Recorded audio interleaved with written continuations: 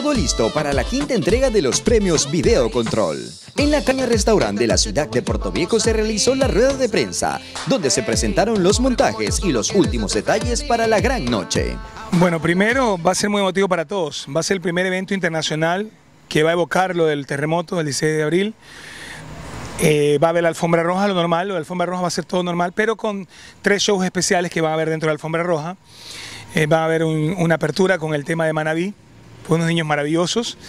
Eh, va a ser muy, muy nuestro. En realidad van a haber dos escenarios, uno afuera, otro adentro, entonces se vamos a tratar de manejar dos, los dos escenarios.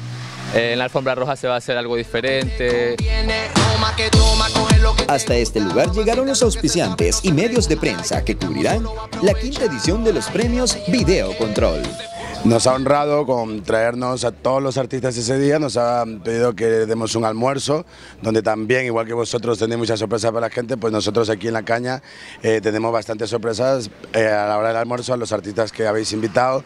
Bueno, una gran invitación a todo el público, esperamos que esa noche asistan, vayan, diviértanse y a celebrar la vida, como dice que esto es lo que este año los premios quieren decir, nos vamos a celebrar la vida. Recuerden que los premios Videocontrol se transmitirán el día domingo 16 de abril a partir de las 19 horas por Oromar Televisión. Los premios Videocontrol.